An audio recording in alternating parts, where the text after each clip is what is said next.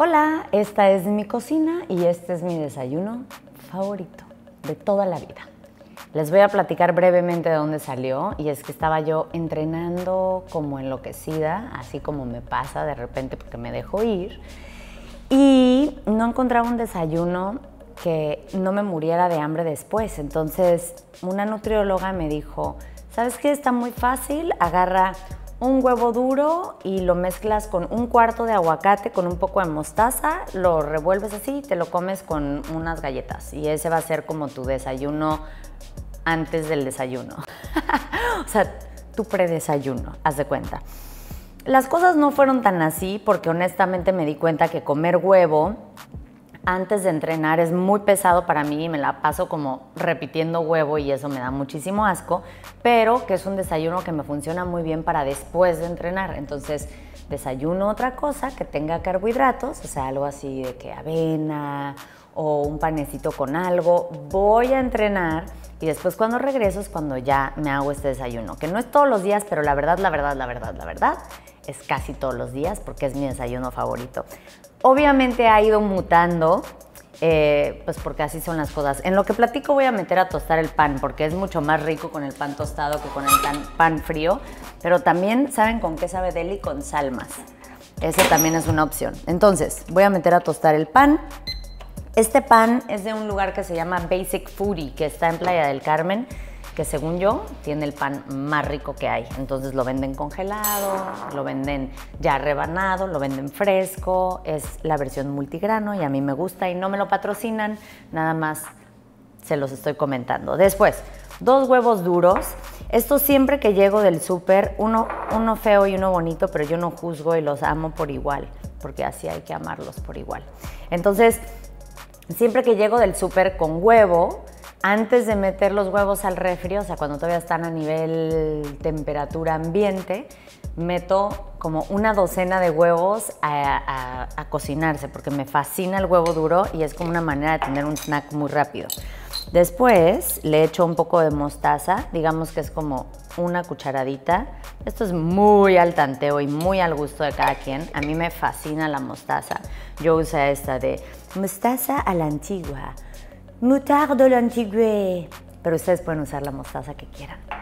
Después, apachurro con un tenedor el huevo. Eh, o puede ser con una máquina del futuro, con un cuchillito, con lo que ustedes quieran.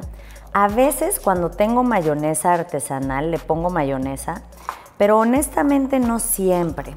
Porque el tema de la mayonesa, sobre todo de la mayonesa comercial, es que tiene muchísima grasa. Y ahorita van a ver que este, esta receta sí contiene grasa, pero es grasa de aguacate. Entonces es una grasa muchísimo más saludable que la que contiene la mayonesa comercial. De repente esas mayonesas artesanales buena onda también tienen grasas buenas y entonces ahí sí le entro y le da como más como este saborcito así como de ensaladita de huevo. Medio aguacate pequeño. Este está como que quiere estar maduro, pero no está tan maduro, es un aguacate prepuberto, lo vamos a llamar. Un aguacate preadolescente. Y se machaca con el huevo y la mostaza. No les dije que era un alimento bonito. Bueno, hasta ahorita. Pero esto es lo que dijo la nutrióloga. Me dijo, haz esto porque está perfecto porque el huevo es la proteína, tienes el aguacate que es la grasa que te va a sostener y con la mostaza simplemente estás agregando como un poco de sazón para que luego no tengas que estarle poniendo otras cosas, de que salsitas y cositas misteriosas que pueden agregar calorías. Entonces esto lo hice y la verdad todo bien, ups, pero a mí me gustan las cosas un poco más elegantes y más producidas, honestamente. Siempre busco la manera de que sean más nutritivas y que sean más bonitas, aunque no sean para nadie, aunque sean para mí, porque me encanta llegar de hacer ejercicio, hacerme a mí misma un desayuno bonito y digno y sentarme en la mesa y abrir mis redes sociales y leer todos sus comentarios con calma en lo que desayuno. Entonces, ese pan ya se está tardando mucho para, bueno, mientras, mientras está el pan, tengo aquí, me voy a hacer así porque producción, ahí está Tengo aquí pimienta rosa, entera. Este fue mi descubrimiento del año, no saben el nivel de obsesión. Se ha vuelto un temazo, yo no sabía ni que existía. Es una pimienta que tiene como una cascarita y que es muy aromática. Yo siento que es casi como floral la pimienta rosa. Es de un, en un restaurante al que vamos mucho en playa que se llama Luma. Sirven como un mousse de pescado que tiene un poco de pimienta rosa y yo siempre le daba la vuelta porque no sabía qué era, hasta que un día la probé, fue amor a primera vista, nuestros signos zodiacales eran compatibles y a partir de ahí se desarrolló esta historia de amor espectacular en donde casi casi primero decido que las cosas llevan pimienta rosa y después decido qué cosas son. Y pues me gusta molcajetearlo porque el aroma es muchísimo más fresco, ¿no? Que cuando ya lo compras así Tengo mi sal de celestún, la otra mitad de mi aguacate que no voy a usar, entonces esto lo vamos a poner por ahí, producción. Y mi pan, justo en el momento correcto. Entonces, pan multigrano tostado,